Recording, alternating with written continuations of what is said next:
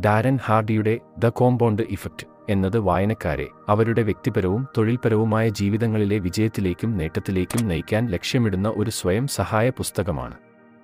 കാലക്രമേണ എടുക്കുന്ന ചെറിയ സ്ഥിരതയുള്ള പ്രവർത്തനങ്ങൾ ഒരു വ്യക്തിയുടെ ജീവിതത്തിൽ കാര്യമായ സ്വാധീനം ചെലുത്തുമെന്നും നല്ല മാറ്റങ്ങൾ വരുത്തുകയും അവയോട് ചേർന്നു നിൽക്കുകയും ചെയ്യുന്നതിലൂടെ വ്യക്തികൾക്ക് അവരുടെ ജീവിതത്തിന്റെ എല്ലാ മേഖലകളിലും വിജയത്തിലേക്ക് നയിക്കുന്ന ഒരു സംയുക്ത പ്രഭാവം സൃഷ്ടിക്കാൻ കഴിയുമെന്നും പുസ്തകം വാദിക്കുന്നു.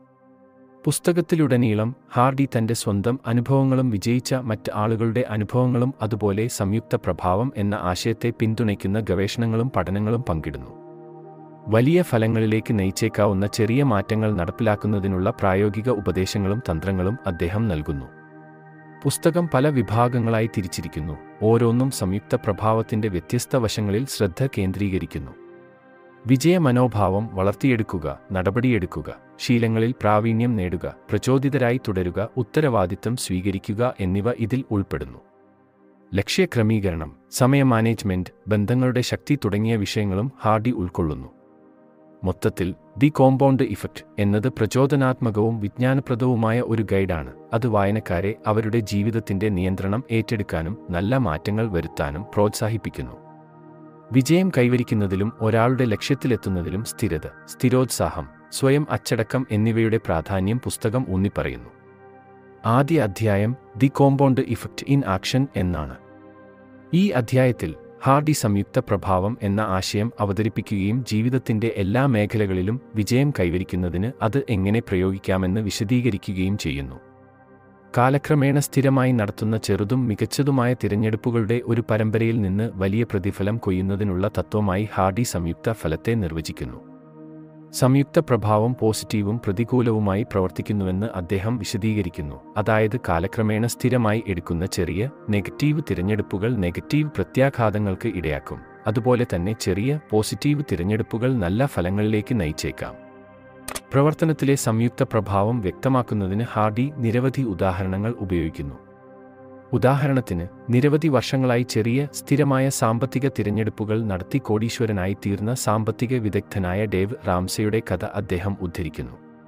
സ്ഥിരമായ പരിശീലനത്തിലൂടെയും പരിശീലനത്തിലൂടെയും അത്ലറ്റുകളും സംഗീതജ്ഞരും എങ്ങനെ വിജയം കൈവരിക്കുന്നുവെന്നതിനെക്കുറിച്ചും അദ്ദേഹം പറയുന്നു. ഹാർഡി ഊന്നിപ്പറയുന്നത് സംയുക്ത പ്രഭാവം ഒറ്റരാത്രി കൊണ്ട് നേടിയ വിജയമല്ല മറിച്ച് ക്ഷമയും സ്ഥിരോത്സാഹവും സ്ഥിരതയും ആവശ്യമായ ഒരു ക്രമാനുഗതമായ പ്രക്രിയയാണ്. ചെറിയ തിരഞ്ഞെടുപ്പുകളുടെ ശേഖരണമാണ് ദീർഘകാലാടിസ്ഥാനത്തിൽ വലിയ മാറ്റമുണ്ടാക്കുന്നതെന്ന് അദ്ദേഹം വിശദീകരിക്കുന്നു. അവസാനമായി ഹാർഡി ഒരാളുടെ ജീവിതത്തിൽ സംയുക്ത പ്രഭാവം പ്രയോഗിക്കുന്നതിന് ചില പ്രായോഗിക ഉപദേശങ്ങൾ നൽകുന്നു. നിങ്ങൾ മെച്ചപ്പെടുത്താൻ ആഗ്രഹിക്കുന്ന മേഖലകൾ തിരിച്ചറിയാനും ചെറുതും സ്ഥിരതയുള്ളതുമായ മാറ്റങ്ങൾ വരുത്താനും കാലക്രമേണ നിങ്ങളുടെ പുരോഗതി ട്രാക്കു ചെയ്യാനും അദ്ദേഹം നിർദ്ദേശിക്കുന്നു. ഉത്തരവാദിത്തത്തിന്റെ പ്രാധാന്യവും പോസിറ്റീവ് സ്വാധീനങ്ങളോടെ സ്വയം ചുറ്റാനുള്ള ശക്തിയും അദ്ദേഹം ഊന്നിപ്പറയുന്നു. മൊത്തത്തിൽ ദി കോമ്പൗണ്ട് ഇഫക്റ്റ് എന്ന ആദ്യ അധ്യായം പുസ്തകത്തിന്റെ ബാക്കി ഭാഗങ്ങൾക്ക് അടിത്തറയിടുന്നു. കോമ്പൗണ്ട് ഇഫക്റ്റ് എന്ന ആശയം വായനക്കാരെ പരിചയപ്പെടുത്തുകയും വിജയം കൈവരിക്കുന്നതിന് അത് എങ്ങനെ പ്രയോഗിക്കാമെന്നതിനുള്ള വേദിയൊരുക്കുകയും ചെയ്യുന്നു. രണ്ടാം അധ്യായം ചോയ്സസ് എന്നാണ്. ഈ അധ്യായത്തിൽ ഒരാളുടെ ലക്ഷ്യങ്ങളോടും മൂല്യങ്ങളോടും പൊരുത്തപ്പെടുന്ന ബോധപൂർവമായ തിരഞ്ഞെടുപ്പുകൾ നടത്തേണ്ടതിന്റെ പ്രാധാന്യം ഹാർഡി ഊന്നിപ്പറയുന്നു. ഒരു വ്യക്തി എടുക്കുന്ന ഓരോ തീരുമാനവും എത്ര ചെറുതാണെങ്കിലും കാലക്രമേണ അവരുടെ ജീവിതത്തിൽ പോസിറ്റീവായോ പ്രതികൂലമായോ കാര്യമായ സ്വാധീനം ചെലുത്തുമെന്ന് അദ്ദേഹം വാദിക്കുന്നു. തന്റെ ആരോഗ്യത്തിനും കരിയറിനും പ്രതികൂലമായ പ്രത്യാഘാതങ്ങൾ ഉണ്ടാക്കിയ ഒരു മോശം തിരഞ്ഞെടുപ്പ് നടത്തിയ ഒരു കാലത്തെക്കുറിച്ചുള്ള വ്യക്തിപരമായ കഥ പങ്കുവച്ചാണ് ഹാർഡി അധ്യായം ആരംഭിക്കുന്നത്. ഒരുവന്റെ ലക്ഷ്യങ്ങളെയും മൂല്യങ്ങളെയും കുറിച്ച് വ്യക്തമായ ധാരണ ഉണ്ടായിരിക്കുകയും തീരുമാനങ്ങൾ എടുക്കുന്നതിനുള്ള ഒരു വഴികാട്ടിയായി അവ ഉപയോഗിക്കുകയും ചെയ്യുക എന്നതാണ് മികച്ച തിരഞ്ഞെടുപ്പുകൾ നടത്തുന്നതിനുള്ള താക്കോലെന്ന് അദ്ദേഹം തുടർന്ന് വിശദീകരിക്കുന്നു. മികച്ച തിരഞ്ഞെടുപ്പുകൾ നടത്തുന്നതിന് ഹാർഡി നിരവധി നുറുങ്ങുകൾ വാഗ്ദാനം ചെയ്യുന്നു ഇവയുൾപ്പെടെ. ഒന്ന് നിങ്ങൾ എന്താണ് നേടാൻ ആഗ്രഹിക്കുന്നതെന്നും അത് നിങ്ങൾക്ക് പ്രധാനമായിരിക്കുന്നത് എന്തുകൊണ്ടാണെന്നും വ്യക്തമായിരിക്കുക. രണ്ട് നിങ്ങളുടെ ലക്ഷ്യങ്ങളെ ചെറുതും കൂടുതൽ കൈകാര്യം ചെയ്യാവുന്നതുമായ ഘട്ടങ്ങളായി വിഭജിക്കുന്നു. മൂന്ന് ഇപ്പോഴത്തെ നിമിഷത്തിൽ ശ്രദ്ധ കേന്ദ്രീകരിക്കുകയും ആ നിമിഷത്തിൽ നിങ്ങൾക്ക് കഴിയുന്ന ഏറ്റവും മികച്ച തിരഞ്ഞെടുപ്പ് നടത്തുകയും ചെയ്യുക. നാല് നിങ്ങളുടെ ലക്ഷ്യങ്ങളെയും മൂല്യങ്ങളെയും പിന്തുണയ്ക്കുന്ന ആളുകളുമായി നിങ്ങളെ ചുറ്റിപ്പറ്റി. അഞ്ച് റിസ്ക് എടുക്കാനും നിങ്ങളുടെ കംഫർട്ട് സോണിൽ നിന്ന് പുറത്തുകടക്കാനും തയ്യാറാവുക. ഒരാളുടെ തിരഞ്ഞെടുപ്പുകളുടെയും അവയുടെ ഫലങ്ങളുടെയും ഉത്തരവാദിത്തം ഏറ്റെടുക്കേണ്ടതിന്റെ പ്രാധാന്യവും ഹാർഡി ഊന്നിപ്പറയുന്നു. ഒരാളുടെ പരാജയങ്ങൾക്കും തിരിച്ചടികൾക്കും ബാഹ്യ ഘടകങ്ങളെയോ സാഹചര്യങ്ങളെയോ കുറ്റപ്പെടുത്തുന്നത് വിപരീതഫലമാണെന്നും അത് വിജയത്തിലേക്ക് നയിക്കില്ലെന്നും അദ്ദേഹം വിശദീകരിക്കുന്നു. അധ്യായത്തിലുടനീളം തിരഞ്ഞെടുക്കാനുള്ള ശക്തിയും കാലക്രമേണ ഒരാളുടെ ജീവിതത്തിൽ അത് ചെലുത്തുന്ന സ്വാധീനവും വ്യക്തമാക്കുന്നതിന് ഹാർഡി ഉദാഹരണങ്ങളും ഉപകഥകളും ഉപയോഗിക്കുന്നു. ഓരോ തീരുമാനവും പ്രാധാന്യമർഹിക്കുന്നുണ്ടെന്നും സ്ഥിരമായി എടുക്കുന്ന ചെറിയ തിരഞ്ഞെടുപ്പുകൾ പോലും കാര്യമായ ഫലങ്ങളിലേക്ക് നയിക്കുമെന്നും അദ്ദേഹം ഊന്നിപ്പറയുന്നു. ചുരുക്കത്തിൽ ദി കോമ്പൗണ്ട് ഇഫക്റ്റ് എന്ന അധ്യായം രണ്ട് ഒരാളുടെ ലക്ഷ്യങ്ങളോടും മൂല്യങ്ങളോടും പൊരുത്തപ്പെടുന്ന ബോധപൂർവമായ തിരഞ്ഞെടുപ്പുകൾ നടത്തേണ്ടതിന്റെ പ്രാധാന്യം ഊന്നിപ്പറയുന്നു. മികച്ച തിരഞ്ഞെടുപ്പുകൾ നടത്തുന്നതിന് ഹാർഡി പ്രായോഗിക ഉപദേശം നൽകുന്നു കൂടാതെ ആ തിരഞ്ഞെടുപ്പുകളുടെ ഫലങ്ങളുടെ ഉത്തരവാദിത്തം ഏറ്റെടുക്കേണ്ടതിന്റെ ആവശ്യകത ഊന്നിപ്പറയുന്നു. ആ ശീലങ്ങൾ എന്ന തലക്കെട്ടിൽ ഡാരൻ ഹാർഡി എഴുതിയ ദ കോമ്പൗണ്ട് ഇഫക്റ്റ് എന്ന മൂന്നാം അധ്യായത്തിൽ ശീലങ്ങൾ നമ്മുടെ ജീവിതത്തിൽ വഹിക്കുന്ന നിർണായക പങ്കിനെക്കുറിച്ചും അവ എങ്ങനെ വിജയത്തിലേക്കും പരാജയത്തിലേക്കും നമ്മെ നയിക്കുമെന്നും രചയിതാവ് ഊന്നിപ്പറയുന്നു. ശീലങ്ങളാണ് നമ്മുടെ ദൈനംദിന ജീവിതത്തിന്റെ അടിത്തറയെന്നും അവ നമ്മുടെ പ്രവർത്തനങ്ങളെയും മനോഭാവങ്ങളെയും ആത്യന്തികമായി നമ്മുടെ ഫലങ്ങളെയും നിർണയിക്കുന്നുവെന്നും ഹാർഡി വാദിക്കുന്നു. ഒരു ശീലം എന്താണെന്ന് നിർവചിച്ചുകൊണ്ടാണ് ഹാർഡി ആരംഭിക്കുന്നത്. അത് പതിവായി ആവർത്തിക്കുന്ന ഒരു സ്വഭാവമാണെന്നും പലപ്പോഴും അബോധാവസ്ഥയിലാണെന്നും പ്രസ്താവിക്കുന്നു. ശീലങ്ങൾ നല്ലതും ചീത്തയുമാകാമെന്നും ആവർത്തനത്തിന്റെയും ശക്തിപ്പെടുത്തലിന്റെയും ഒരു പ്രക്രിയയിലൂടെയാണ് അവ രൂപപ്പെടുന്നതെന്നും അദ്ദേഹം വിശദീകരിക്കുന്നു. ശീലങ്ങൾ എളുപ്പത്തിൽ തകർക്കപ്പെടുന്നില്ലെന്നും അവ മാറ്റാൻ ബോധപൂർവമായ പരിശ്രമവും സ്ഥിരോത്സാഹവും ആവശ്യമാണെന്നും അദ്ദേഹം വിശദീകരിക്കുന്നു. വിജയം കൈവരിക്കുന്നതിനുള്ള നിർണായക ചുവടുവെപ്പായി മോശം ശീലങ്ങൾ തിരിച്ചറിയുകയും മാറ്റുകയും ചെയ്യേണ്ടതിന്റെ പ്രാധാന്യം രചയിതാവ് എടുത്തു കാണിക്കുന്നു. വായനക്കാരെ അവരുടെ ശീലങ്ങളെക്കുറിച്ചും അവ ജീവിതത്തിൽ ചെലുത്തുന്ന സ്വാധീനത്തെക്കുറിച്ചും ബോധവാന്മാരാകാൻ അദ്ദേഹം പ്രോത്സാഹിപ്പിക്കുന്നു. വായനക്കാർ അവരുടെ ശീലങ്ങളിൽ ചെറിയ മാറ്റങ്ങൾ വരുത്തിക്കൊണ്ട് ആരംഭിക്കണമെന്ന് അദ്ദേഹം ശുപാർശ ചെയ്യുന്നു. ഇത് കാലക്രമേണ അവരുടെ ജീവിതത്തിൽ കാര്യമായ പുരോഗതിയിലേക്ക് നയിച്ചേക്കാം. നമ്മുടെ ജീവിതത്തിന്റെ മറ്റ് മേഖലകളിൽ നല്ല തരംഗങ്ങളെ സ്വാധീനിക്കുന്ന ശീലങ്ങളായ കീസ്റ്റോൺ ശീലങ്ങൾ എന്ന ആശയത്തെക്കുറിച്ചും ഹാർഡി ചർച്ച ചെയ്യുന്നു.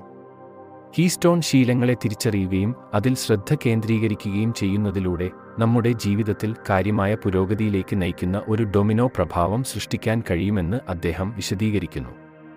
നല്ല ശീലങ്ങൾ വളർത്തിയെടുക്കുന്നതിൽ സ്ഥിരതയുടെ പ്രാധാന്യത്തെക്കുറിച്ച് രചയിതാവ് ചർച്ച ചെയ്യുന്നു. ഒരു പുതിയ ശീലം വളർത്തിയെടുക്കാൻ സമയവും പരിശ്രമവും ആവശ്യമാണെന്നും ശാശ്വതമായ മാറ്റം സൃഷ്ടിക്കുന്നതിന് സ്ഥിരതയാണ് പ്രധാനമെന്നും അദ്ദേഹം വിശദീകരിക്കുന്നു. നിർദ്ദിഷ്ട ലക്ഷ്യങ്ങൾ സജ്ജീകരിക്കുന്നതും പുരോഗതി ട്രാക്ക് ചെയ്യുന്നതും ഉൾപ്പെടെ പുതിയ ശീലങ്ങൾ വികസിപ്പിക്കുന്നതിനുള്ള ഒരു പദ്ധതി സൃഷ്ടിക്കാൻ അദ്ദേഹം വായനക്കാരെ ഉപദേശിക്കുന്നു. ചുരുക്കത്തിൽ ദി കോമ്പൗണ്ട് ഇഫക്റ്റ് എന്നതിന്റെ മൂന്നാം അധ്യായം നമ്മുടെ ദൈനംദിന ജീവിതത്തിൽ ശീലങ്ങളുടെ പ്രാധാന്യവും നമ്മുടെ വിജയത്തിൽ അവ ചെലുത്തുന്ന സ്വാധീനവും ഊന്നിപ്പറയുന്നു. വായനക്കാരെ അവരുടെ ശീലങ്ങളെക്കുറിച്ച് ബോധവാന്മാരാകാനും നല്ല ശീലങ്ങൾ സൃഷ്ടിക്കുന്നതിന് ചെറിയ മാറ്റങ്ങൾ വരുത്താനും രചയിതാവ് പ്രോത്സാഹിപ്പിക്കുന്നു. അത് കാലക്രമേണ കാര്യമായ പുരോഗതിയിലേക്ക് നയിക്കും. പുതിയ ശീലങ്ങൾ വികസിപ്പിക്കുന്നതിൽ സ്ഥിരതയുടെ പ്രാധാന്യം അദ്ദേഹം എടുത്തുകാണിക്കുകയും പോസിറ്റീവ് മാറ്റം സൃഷ്ടിക്കുന്നതിനുള്ള ശക്തമായ ഉപകരണമായി കീസ്റ്റോൺ ശീലങ്ങളെ തിരിച്ചറിയുകയും ചെയ്യുന്നു. നാല് അധ്യായത്തിൽ മൊമന്റം എന്ന തലക്കെട്ടിൽ വിജയം കൈവരിക്കുന്നതിന് ആക്കം കൂട്ടേണ്ടതിന്റെ പ്രാധാന്യത്തെക്കുറിച്ച് രചയിതാവ് ചർച്ച ചെയ്യുന്നു.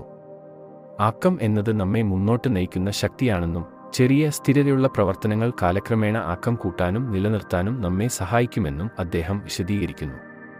നാം ചെയ്യുന്ന പ്രവർത്തനങ്ങളെ ആശ്രയിച്ച് ആക്കം പോസിറ്റീവ് അല്ലെങ്കിൽ നെഗറ്റീവ് ആകാം എന്ന് ഹാർഡി ഊന്നിപ്പറയുന്നു. നമ്മുടെ ലക്ഷ്യങ്ങൾക്കായി പ്രവർത്തിക്കുക നല്ല ശീലങ്ങൾ കെട്ടിപ്പടുക്കുക സമർത്ഥമായ തിരഞ്ഞെടുപ്പുകൾ നടത്തുക എന്നിങ്ങനെയുള്ള പോസിറ്റീവ് പ്രവർത്തനങ്ങൾ ഞങ്ങൾ സ്ഥിരമായി സ്വീകരിക്കുകയാണെങ്കിൽ വിജയത്തിലേക്ക് നമ്മെ മുന്നോട്ട് നയിക്കുന്ന പോസിറ്റീവ് ആക്കം ഉണ്ടാക്കാൻ നമുക്ക് കഴിയും.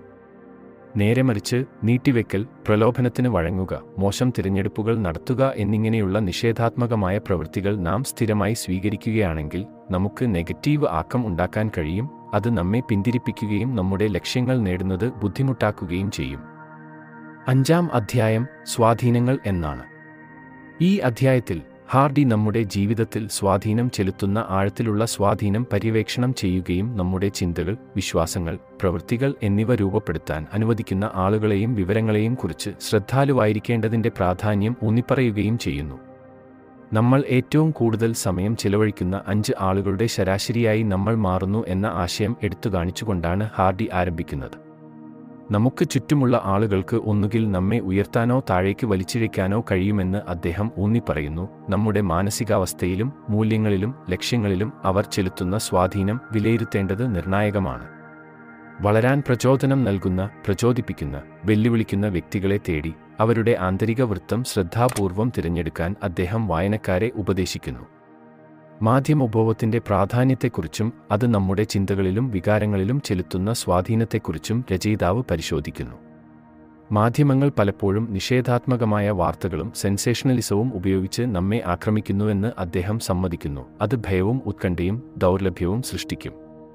നിഷേധാത്മക മാധ്യമങ്ങളിലേക്കുള്ള എക്സ്പോഷർ പരിമിതപ്പെടുത്താനും പകരം വ്യക്തിഗത വളർച്ചയും പോസിറ്റീവ് ചിന്തയും വളർത്തുന്ന ഉന്നമവും വിദ്യാഭ്യാസപരവുമായ ഉള്ളടക്കത്തിൽ ശ്രദ്ധ കേന്ദ്രീകരിക്കാൻ ഹാർഡി നിർദ്ദേശിക്കുന്നു. കൂടാതെ നമ്മുടെ ജീവിതത്തിൽ നാം അനുവദിക്കുന്ന വിവരങ്ങൾ മൂല്യനിർണയം നടത്തേണ്ടതിന്റെയും ക്യൂറേറ്റ് ചെയ്യുന്നതിന്റെയും പ്രാധാന്യം ഹാർഡി ഊന്നിപ്പറയുന്നു. പുസ്തകങ്ങൾ ലേഖനങ്ങൾ പോഡ്കാസ്റ്റുകൾ ഞങ്ങൾ ഇടപഴകുന്ന മറ്റു വിവരസ്രോതസ്സുകൾ എന്നിവയെക്കുറിച്ച് തിരഞ്ഞെടുത്ത് അവ നമ്മുടെ മൂല്യങ്ങളോടും ലക്ഷ്യങ്ങളോടും യോജിക്കുന്നുവെന്ന് ഉറപ്പാക്കാൻ അദ്ദേഹം ശുപാർശ ചെയ്യുന്നു. നമ്മുടെ ഇൻഫർമേഷൻ ഡയറ്റിനെക്കുറിച്ച് മനഃപൂർവമായിരിക്കുന്നതിലൂടെ നമുക്ക് നമ്മുടെ ചിന്തകളെ രൂപപ്പെടുത്താനും അറിവ് വികസിപ്പിക്കാനും നമ്മുടെ വ്യക്തിഗത വികസനത്തിന് ഊർജം പകരാനും കഴിയും. നമ്മുടെ പരിസ്ഥിതിയുടെ സ്വാധീനത്തെക്കുറിച്ചും അധ്യായം സ്പർശിക്കുന്നു. ഉൽപാദനക്ഷമമായ ഒരു വർക്ക് സ്പേസ് സജ്ജീകരിക്കുകയോ അല്ലെങ്കിൽ അവരുടെ ലക്ഷ്യങ്ങളെക്കുറിച്ചുള്ള വിഷ്വൽ റിമൈൻഡറുകൾ ഉപയോഗിച്ച് തങ്ങളെ ചുറ്റിപ്പറ്റിയിരിക്കുകയോ അവർ ആഗ്രഹിക്കുന്ന ഫലങ്ങളെ പിന്തുണയ്ക്കുന്ന ഒരു അന്തരീക്ഷം സൃഷ്ടിക്കാൻ ഹാർഡി വായനക്കാരെ പ്രോത്സാഹിപ്പിക്കുന്നു. നമ്മുടെ ഭൗതിക ചുറ്റുപാടുകൾ നമ്മുടെ മാനസികാവസ്ഥയിലും ഉൽപാദനക്ഷമതയിലും അഗാധമായ സ്വാധീനം ചെലുത്തുന്നുവെന്നും നമ്മുടെ പരിസ്ഥിതിയെ ഒപ്റ്റിമൈസ് ചെയ്യുന്നത് നമ്മുടെ വിജയത്തിന് സംഭാവന നൽകുമെന്നും അദ്ദേഹം വിശദീകരിക്കുന്നു. ചുരുക്കത്തിൽ ദി കോമ്പൗണ്ട് ഇഫക്റ്റ് എന്നതിന്റെ അഞ്ചാം അധ്യായം നമ്മുടെ ജീവിതത്തിലെ സ്വാധീനങ്ങളെക്കുറിച്ച് ശ്രദ്ധാലുവായിരിക്കേണ്ടതിന്റെ പ്രാധാന്യം എടുത്തു കാണിക്കുന്നു നല്ലതും ശാക്തീകരിക്കുന്നതുമായ സ്വാധീനങ്ങൾ തിരഞ്ഞെടുക്കുന്നതിലൂടെ നമ്മൾ ഉപയോഗിക്കുന്ന മീഡിയയെക്കുറിച്ച് ബോധവാന്മാരായിരിക്കുന്നതിലൂടെ ഞങ്ങൾ ഇടപഴകുന്ന വിവരങ്ങൾ ക്യൂറേറ്റ് ചെയ്യുന്നതിലൂടെയും നമ്മുടെ പരിസ്ഥിതിയെ ഒപ്റ്റിമൈസ് ചെയ്യുന്നതിലൂടെയും നമുക്ക് നമ്മുടെ മാനസികാവസ്ഥയും പ്രവർത്തനങ്ങളെയും ആത്യന്തികമായി നമ്മുടെ വിജയത്തെയും സാരമായി സ്വാധീനിക്കാൻ കഴിയും. ആറാം അധ്യായം ത്വരണം എന്നാണ്. ഈ അധ്യായത്തിൽ ഹാർഡി നമ്മൾ ആഗ്രഹിക്കുന്ന ഫലങ്ങൾ വേഗത്തിലാക്കുകയും വേഗത്തിൽ വിജയം കൈവരിക്കുകയും ചെയ്യുക എന്ന ആശയം പരിശോധിക്കുന്നു. നമ്മുടെ പുരോഗതി ത്വരിതപ്പെടുത്തുന്നതിന് മൂന്ന് പ്രധാന മേഖലകൾ ശ്രദ്ധ കേന്ദ്രീകരിക്കേണ്ടതുണ്ടെന്ന് വിശദീകരിച്ചാണ് ഹാർഡി ആരംഭിക്കുന്നത്. ആക്കം സ്വാധീനം പ്രവർത്തനം. ആക്കം കൂട്ടുന്നതിന്റെ പ്രാധാന്യം അദ്ദേഹം ഊന്നിപ്പറയുന്നു. ഇത് കാലക്രമേണ സ്ഥിരമായ പ്രവർത്തനത്തിൽ നിന്ന് നേടിയ ശക്തിയെ സൂചിപ്പിക്കുന്നു. നമ്മുടെ ലക്ഷ്യങ്ങളിലേക്കുള്ള ചെറിയ പോസിറ്റീവ് ചുവടുകൾ സ്ഥിരമായി എടുക്കുന്നതിലൂടെ നമ്മെ മുന്നോട്ട് നയിക്കുന്ന ശക്തമായ ഒരു ശക്തി സൃഷ്ടിക്കാൻ നമുക്ക് കഴിയും. അടുത്തതായി ശരിയായ സ്വാധീനങ്ങളാൽ നമ്മെ ചുറ്റിപ്പറ്റിയുള്ള പ്രാധാന്യം ഹാർഡി ഊന്നിപ്പറയുന്നു. നമ്മൾ സഹവസിക്കുന്ന ആളുകളും നമ്മൾ ഉപയോഗിക്കുന്ന വിവരങ്ങളും നമ്മുടെ മാനസികാവസ്ഥയും വിശ്വാസങ്ങളെയും പ്രവർത്തനങ്ങളെയും വളരെയധികം സ്വാധീനിക്കുമെന്ന് അദ്ദേഹം ഊന്നിപ്പറയുന്നു. ഹാർഡി വായനക്കാരെ അവരുടെ ബന്ധങ്ങളെ വിലയിരുത്താൻ പ്രോത്സാഹിപ്പിക്കുകയും അവർ പിന്തുണയ്ക്കുകയും പ്രചോദിപ്പിക്കുകയും ചെയ്യുന്നുണ്ടോ അല്ലെങ്കിൽ അവർ അവരെ തടഞ്ഞു നിർത്തുന്നുണ്ടോ എന്ന് നിർണയിക്കാൻ പ്രോത്സാഹിപ്പിക്കുന്നു. നമ്മുടെ ലക്ഷ്യങ്ങളോടും മൂല്യങ്ങളോടും യോജിക്കുന്ന ഉപദേഷ്ടാക്കളെയും മാതൃകകളെയും നല്ല സ്വാധീനങ്ങളെയും തേടാനും അദ്ദേഹം നിർദ്ദേശിക്കുന്നു. തുടർന്ന് അധ്യായം പ്രവർത്തന വിഷയത്തിലേക്ക് കടക്കുന്നു. ത്വരിതപ്പെടുത്തിയ ഫലങ്ങൾ കൈവരിക്കുന്നതിന് വൻതോതിലുള്ള നടപടികൾ കൈക്കൊള്ളുന്നത് നിർണായകമാണെന്ന് ഹാർഡി ഉറപ്പിച്ചു പറയുന്നു. വിശകലന പക്ഷാഘാതത്തിന്റെ കെണിയിൽ വീഴുന്നതിനോ അല്ലെങ്കിൽ തികഞ്ഞ നിമിഷത്തിനായി കാത്തിരിക്കുന്നതിനോ എതിരെ അദ്ദേഹം മുന്നറിയിപ്പ് നൽകുന്നു. ഉടനടി നടപടിയെടുക്കാനും വഴിയിൽ അവരുടെ ഗതി ക്രമീകരിക്കാനും വായനക്കാരെ പ്രേരിപ്പിക്കുന്നു. ഭയവും കാലതാമസവും മറികടക്കുന്നതിനുള്ള പ്രായോഗിക നുറുങ്ങുകൾ അദ്ദേഹം നൽകുന്നു. സജീവമായിരിക്കേണ്ടതിന്റെയും തീരുമാനങ്ങൾ ഉടനടി എടുക്കുന്നതിന്റെയും പ്രാധാന്യം ഊന്നിപ്പറയുന്നു. കൂടാതെ അസ്വാസ്ഥ്യങ്ങൾ ഉൾക്കൊള്ളുന്നതിന്റെയും കംഫർട്ട് സോണുകളിൽ നിന്ന് പുറത്തുകടക്കുന്നതിന്റെയും പ്രാധാന്യത്തെക്കുറിച്ച് ഹാർഡി ചർച്ച ചെയ്യുന്നു. നാം നമ്മെ തന്നെ വെല്ലുവിളിക്കുകയും നമ്മുടെ പരിധിക്കപ്പുറമുള്ള പുതിയ സാഹചര്യങ്ങളെ അഭിമുഖീകരിക്കുകയും ചെയ്യുമ്പോഴാണ് വളർച്ചയും പുരോഗതിയും സംഭവിക്കുന്നതെന്ന് അദ്ദേഹം വിശദീകരിക്കുന്നു. അസ്വാസ്ഥ്യങ്ങൾ ഉൾക്കൊള്ളുകയും അപകടസാധ്യതകൾ കണക്കാക്കുകയും ചെയ്യുന്നതിലൂടെ നമുക്ക് നമ്മുടെ പഠനവും വികസനവും ആത്യന്തികമായി നമ്മുടെ വിജയവും ത്വരിതപ്പെടുത്താൻ കഴിയും. ഉപസംഹാരമായി ദി കോമ്പൗണ്ട് ഇഫക്റ്റ് ന്റെ ആറാം അധ്യായം നമ്മുടെ പുരോഗതിയെ ത്വരിതപ്പെടുത്തുന്നതിലും നമ്മുടെ ലക്ഷ്യങ്ങൾ കൈവരിക്കുന്നതിലും ആക്കം സ്വാധീനം പ്രവർത്തനം എന്നിവയുടെ പ്രാധാന്യം എടുത്തുകാണിക്കുന്നു തുടർച്ചയായി ചെറിയ ചുവടുകൾ എടുക്കുന്നതിലൂടെയും നല്ല സ്വാധീനങ്ങളാൽ നമ്മെ ചുറ്റിപ്പറ്റിയും അസ്വസ്ഥതകൾ ഉൾക്കൊള്ളുന്നതിലൂടെയും വേഗത്തിൽ വിജയത്തിലേക്ക് നമ്മെ നയിക്കുന്ന ശക്തമായ ഒരു ശക്തി സൃഷ്ടിക്കാൻ നമുക്ക് കഴിയും. ഏഴാം അധ്യായം ദി പവർ ഓഫ് കൺസിസ്റ്റൻസി എന്നാണ്. ഈ അധ്യായത്തിൽ വിജയം കൈവരിക്കുന്നതിലും നമ്മുടെ ജീവിതത്തിൽ ശാശ്വതമായ മാറ്റം സൃഷ്ടിക്കുന്നതിലും സ്ഥിരതയുടെ പ്രാധാന്യം ഹാർഡി പര്യവേക്ഷണം ചെയ്യുന്നു. ചെറിയ പോസിറ്റീവ് പ്രവർത്തനങ്ങളെ കാലക്രമേണ കാര്യമായ ഫലങ്ങളാക്കി മാറ്റുന്നതിനുള്ള താക്കോൽ സ്ഥിരതയാണെന്ന് ഊന്നിപ്പറഞ്ഞാണ് ഹാർഡി ആരംഭിക്കുന്നത്. തൽക്ഷണ സംതൃപ്തി തേടുന്നതിനോ പെട്ടെന്നുള്ള പരിഹാരങ്ങൾക്കായി നോക്കുന്നതിനോ പ്രലോഭിപ്പിക്കുന്നതായിരിക്കാമെങ്കിലും സ്ഥിരമായ പരിശ്രമത്തിലും അർപ്പണബോധത്തിലുമാണ് യഥാർത്ഥ വിജയം കെട്ടിപ്പടുക്കുന്നതെന്ന് അദ്ദേഹം വിശദീകരിക്കുന്നു. സ്ഥിരവും സ്ഥിരവുമായ പ്രവർത്തനത്തിലൂടെ മഹത്വം കൈവരിച്ച വിജയകരമായ വ്യക്തികളുടെ ഉദാഹരണങ്ങൾ അദ്ദേഹം നൽകുന്നു. അവരുടെ വിജയം ഒറ്റ രാത്രി വന്നതല്ലെന്നും സ്ഥിരമായ പുരോഗതിയുടെ ഫലമാണെന്നും എടുത്തുകാണിക്കുന്നു ഈ അധ്യായം ബിഗ് മോ എന്ന ആശയത്തിലേക്ക് കടന്നു ചെല്ലുന്നു. അത് ആക്കം കൂട്ടുന്നു. സ്ഥിരത ആക്കം സൃഷ്ടിക്കുമെന്നും ആക്കം സ്ഥാപിച്ചു കഴിഞ്ഞാൽ പ്രചോദിതരായി തുടരാനും പുരോഗതി കൈവരിക്കാനും എളുപ്പമായി തീരുമെന്ന് ഹാർഡി വിശദീകരിക്കുന്നു. നമ്മുടെ ലക്ഷ്യങ്ങൾക്കായി സ്ഥിരമായി നടപടിയെടുക്കുന്നതിലൂടെ ചെറുതായി തുടങ്ങുകയും ക്രമേണ ആക്കം കൂട്ടുകയും ചെയ്യേണ്ടതിന്റെ പ്രാധാന്യം അദ്ദേഹം ഊന്നിപ്പറയുന്നു. അങ്ങനെ ചെയ്യുന്നതിലൂടെ നമുക്ക് കോമ്പൗണ്ടിങ്ങിന്റെ ശക്തിയിലേക്ക് ടാപ്പ് ചെയ്യാനാകും. അവിടെ സ്ഥിരമായി ചെയ്യുന്ന ചെറിയ പ്രവർത്തനങ്ങൾ കാലക്രമേണ എക്സ്പോണൻഷ്യൽ ഫലങ്ങൾ നൽകുന്നു. സ്ഥിരത നിലനിർത്താൻ ശ്രമിക്കുമ്പോൾ ഉണ്ടാകുന്ന വെല്ലുവിളികളും ഹാർഡി ചർച്ച ചെയ്യുന്നു. ജീവിതം പ്രവചനാതീതമാണെന്നും പ്രതിബന്ധങ്ങൾ അനിവാര്യമായും നമ്മുടെ വഴിയിൽ വരുമെന്നും അദ്ദേഹം സമ്മതിക്കുന്നു. എന്നിരുന്നാലും പ്രതിബന്ധങ്ങളെ തരണം ചെയ്യാനും സ്ഥിരത പുലർത്താനുമുള്ള തന്ത്രങ്ങൾ വികസിപ്പിക്കാനും സജീവമായ ഒരു മാനസികാവസ്ഥ സ്വീകരിക്കാനും അദ്ദേഹം വായനക്കാരെ പ്രോത്സാഹിപ്പിക്കുന്നു. ഒരു ദിനചര്യ സൃഷ്ടിക്കുക ഒരു ഉത്തരവാദിത്ത പങ്കാളിയെ കണ്ടെത്തുക ശക്തമായ ശീലങ്ങൾ വികസിപ്പിക്കുക തുടങ്ങിയ വായനക്കാരെ ട്രാക്കിൽ തുടരാൻ സഹായിക്കുന്നതിന് പ്രായോഗിക നുറുങ്ങുകളും സാങ്കേതികതകളും അദ്ദേഹം നൽകുന്നു. കൂടാതെ സ്ഥിരത നിലനിർത്തുന്നതിൽ സ്വയം അച്ചടക്കത്തിന്റെ പ്രാധാന്യം ഹാർഡി ഊന്നിപ്പറയുന്നു. പരിശീലനത്തിലൂടെയും ആവർത്തനത്തിലൂടെയും വികസിപ്പിക്കാൻ കഴിയുന്ന ഒരു കഴിവാണ് സ്വയം അച്ചടക്കം എന്ന് അദ്ദേഹം വിശദീകരിക്കുന്നു. സ്വയം അച്ചടക്കം പ്രയോജനപ്പെടുത്തുന്നതിലൂടെ വ്യക്തികൾക്ക് അവരുടെ ദീർഘകാല ലക്ഷ്യങ്ങളിൽ ശ്രദ്ധ കേന്ദ്രീകരിക്കാനും ഹ്രസ്വകാല അശ്രദ്ധകളുടെ പ്രലോഭനത്തെ ചെറുക്കാനും കഴിയും.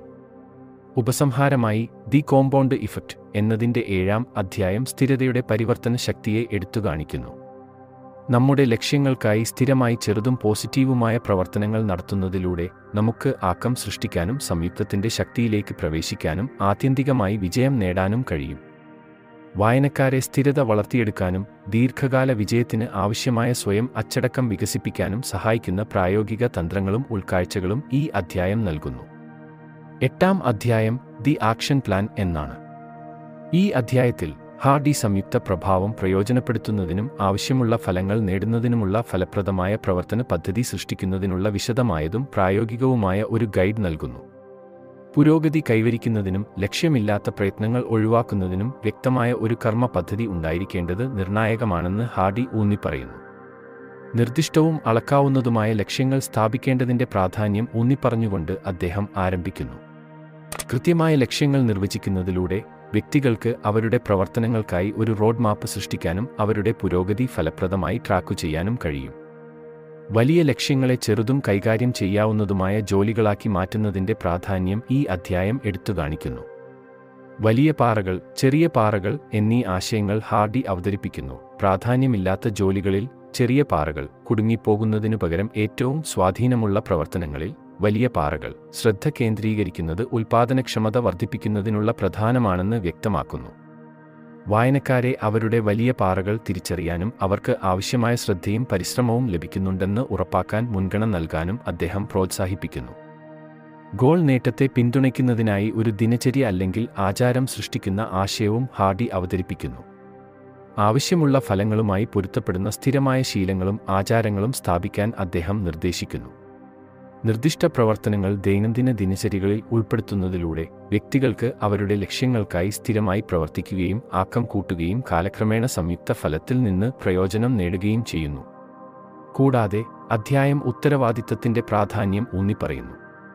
ഒരു ഉത്തരവാദിത്ത പങ്കാളിയെ കണ്ടെത്താൻ അല്ലെങ്കിൽ പിന്തുണയും ഫീഡ്ബാക്കും പ്രചോദനവും നൽകാൻ കഴിയുന്ന ഒരു ഗ്രൂപ്പിൽ ചേരാൻ ഹാർഡി വായനക്കാരെ പ്രോത്സാഹിപ്പിക്കുന്നു. പുരോഗതി പങ്കിടുന്നതിലൂടെയും പരസ്പരം ഉത്തരവാദിത്തത്തോടെ നിലനിർത്തുന്നതിലൂടെയും വ്യക്തികൾക്ക് അവരുടെ പ്രവർത്തന പദ്ധതികളിൽ ശ്രദ്ധ കേന്ദ്രീകരിക്കാനും പ്രതിജ്ഞാബദ്ധരായിരിക്കാനും കഴിയും. വായനക്കാരെ അവരുടെ പുരോഗതി ട്രാക്ക് ചെയ്യാനും ആവശ്യമായ മാറ്റങ്ങൾ വരുത്താനും ഹാർഡി ഉപദേശിക്കുന്നു.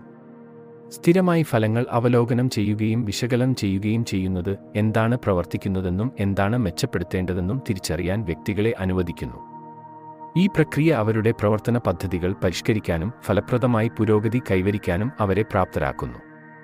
ചുരുക്കത്തിൽ ദി കോമ്പൗണ്ട് ഇഫക്റ്റ് എന്നതിന്റെ എട്ട് അധ്യായം ഒരു സമഗ്രമായ പ്രവർത്തന പദ്ധതി ചട്ടക്കൂട് നൽകുന്നു. വ്യക്തമായ ലക്ഷ്യങ്ങൾ സ്ഥാപിക്കുക വലിയ പാറകൾ തിരിച്ചറിയുക ദിനചര്യകൾ സ്ഥാപിക്കുക ഉത്തരവാദിത്തം സ്വീകരിക്കുക എന്നിവയുടെ പ്രാധാന്യം ഇത് ഊന്നിപ്പറയുന്നു. ഈ മാർഗനിർദ്ദേശങ്ങൾ പാലിക്കുന്നതിലൂടെ വായനക്കാർക്ക് അവരുടെ ലക്ഷ്യങ്ങൾ കൈവരിക്കുന്നതിന് ഫലപ്രദമായ ഒരു റോഡ് മാപ്പ് സൃഷ്ടിക്കാൻ കഴിയും സ്ഥിരവും ഫലപ്രദവുമായ പുരോഗതി കൈവരിക്കുന്നതിന് സംയുക്ത പ്രഭാവം പ്രയോജനപ്പെടുത്തുന്നു. ഒൻപത് അധ്യായം put the compound effect to work എന്നാണ്. ഈ അധ്യായത്തിൽ സംയുക്ത ഫലത്തിന്റെ തത്വങ്ങൾ നടപ്പിലാക്കുന്നതിനും ജീവിതത്തിന്റെ വിവിധ മേഖലകളിൽ അതിന്റെ സ്വാധീനം പരമാവധിയാക്കുന്നതിനുമുള്ള പ്രായോഗിക വഴികൾ ഹാർഡി പര്യവേക്ഷണം ചെയ്യുന്നു. സ്വന്തം പ്രവൃത്തികളുടെയും ഫലങ്ങളുടെയും ഉത്തരവാദിത്തം ഏറ്റെടുക്കേണ്ടതിന്റെ പ്രാധാന്യം ഊന്നിപ്പറഞ്ഞാണ് ഹാർഡി ആരംഭിക്കുന്നത്. സംയുക്ത പ്രഭാവം പോസിറ്റീവായും പ്രതികൂലമായും പ്രവർത്തിക്കുന്നുണ്ടെന്ന് അദ്ദേഹം എടുത്തു കാണിക്കുന്നു അതായത് നമ്മൾ തിരഞ്ഞെടുക്കുന്ന തിരഞ്ഞെടുപ്പുകളും ശീലങ്ങളും ഒന്നുകിൽ നമ്മെ വിജയത്തിലേക്ക് നയിക്കും അല്ലെങ്കിൽ നമ്മുടെ പുരോഗതിയെ തടസ്സപ്പെടുത്തും. അതിനാൽ നമ്മൾ ദിവസവും എടുക്കുന്ന ചെറിയ തീരുമാനങ്ങളെക്കുറിച്ചും കാലക്രമേണ അവ ഉണ്ടാക്കുന്ന സ്വാധീനത്തെക്കുറിച്ചും ശ്രദ്ധിക്കേണ്ടത് പ്രധാനമാണ്. വായനക്കാർ മെച്ചപ്പെടുത്താൻ ആഗ്രഹിക്കുന്ന അവരുടെ ജീവിതത്തിന്റെ മേഖലകൾ തിരിച്ചറിഞ്ഞുകൊണ്ട് ആരംഭിക്കാൻ രചയിതാവ് പ്രോത്സാഹിപ്പിക്കുന്നു. ഇതിൽ ആരോഗ്യം ബന്ധങ്ങൾ സാമ്പത്തികം കരിയർ അല്ലെങ്കിൽ വ്യക്തിഗത വികസനം എന്നിവ ഉൾപ്പെടാം. ഒരു സമയം ഒരു പ്രത്യേക മേഖലയിൽ ശ്രദ്ധ കേന്ദ്രീകരിക്കുന്നതിലൂടെ വ്യക്തികൾക്ക് അവരുടെ ശ്രമങ്ങളെ മികച്ച രീതിയിൽ നയിക്കാനും പുരോഗതി അളക്കാനും കഴിയും. ഹാർഡി ട്രാക്കിംഗ് പുരോഗതി അളക്കൽ എന്ന ആശയം അവതരിപ്പിക്കുന്നു. കാരണം സംയുക്ത പ്രഭാവം ഫലപ്രദമായി ഉപയോഗിക്കുന്നതിൽ ഇത് ഒരു പ്രധാന പങ്ക് വഹിക്കുന്നു. പ്രവർത്തനങ്ങളും ഫലങ്ങളും രേഖപ്പെടുത്തുന്നതിന് ഒരു ജേണൽ സൂക്ഷിക്കാനോ ട്രാക്കിംഗ് ടൂൾ ഉപയോഗിക്കാനോ അദ്ദേഹം നിർദ്ദേശിക്കുന്നു. ഇത് വ്യക്തികളെ പാറ്റേണുകൾ നിരീക്ഷിക്കാനും എന്താണ് പ്രവർത്തിക്കുന്നതെന്നും എന്താണ് ക്രമീകരിക്കേണ്ടതെന്നും തിരിച്ചറിയാനും മൂർത്തമായ പുരോഗതി കാണുന്നതിലൂടെ പ്രചോദിതരായിരിക്കാനും അനുവദിക്കുന്നു. മൂല്യവത്തായ ഉൾക്കാഴ്ചകൾ നൽകാനും വ്യക്തികളെ ഉത്തരവാദികളാക്കാനും കഴിയുന്ന ഉപദേഷ്ടാക്കളിൽ നിന്നോ പരിശീലകരിൽ നിന്നോ മാർഗനിർദ്ദേശവും പിന്തുണയും തേടേണ്ടതിന്റെ പ്രാധാന്യം ഹാർഡി ഊന്നിപ്പറയുന്നു. മാർഗനിർദ്ദേശവും പ്രോത്സാഹനവും ഒരു ബാഹ്യവീക്ഷണവും നൽകാൻ ആരെങ്കിലുമുണ്ടെങ്കിൽ വ്യക്തികളെ ട്രാക്കിൽ തുടരാനും അവരുടെ പുരോഗതി ത്വരിതപ്പെടുത്താനും സഹായിക്കും. അധ്യായം ഉപസംഹരിക്കാൻ സ്ഥിരതയോടെയും ലക്ഷ്യത്തോടെയും പ്രയോഗിക്കുമ്പോൾ സംയുക്ത പ്രഭാവത്തിന്റെ പരിവർത്തന ശക്തിയെ ഹാർഡി എടുത്തുകാണിക്കുന്നു തുടർച്ചയായി പോസിറ്റീവ് തിരഞ്ഞെടുപ്പുകൾ നടത്തുന്നതിലൂടെയും ശാക്തീകരണ ശീലങ്ങൾ വികസിപ്പിക്കുന്നതിലൂടെയും പ്രതിബദ്ധതയോടെ നിലകൊള്ളുന്നതിലൂടെയും വ്യക്തികൾക്ക് വിജയത്തിന്റെയും പൂർത്തീകരണത്തിന്റെയും നേട്ടത്തിന്റെയും ജീവിതം സൃഷ്ടിക്കാൻ കഴിയും. ചുരുക്കത്തിൽ ദി കോമ്പൗണ്ട് ഇഫക്റ്റ് എന്നതിന്റെ ഒൻപത് അധ്യായം സംയുക്ത പ്രഭാവത്തിന്റെ തത്വങ്ങൾ നടപ്പിലാക്കുന്നതിനുള്ള പ്രായോഗിക തന്ത്രങ്ങളിൽ ശ്രദ്ധ കേന്ദ്രീകരിക്കുന്നു. പുരോഗതി ട്രാക്കു ചെയ്യുക ചെറിയ സ്ഥിരതയുള്ള ക്രമീകരണങ്ങൾ നടത്തുക വെല്ലുവിളികളെ നേരിടുക പിന്തുണ തേടുക ദീർഘകാല ലക്ഷ്യങ്ങൾ കൈവരിക്കുന്നതിന് പ്രതിജ്ഞാബദ്ധത പുലർത്തുക എന്നിവയുടെ പ്രാധാന്യം ഇത് ഊന്നിപ്പറയുന്നു.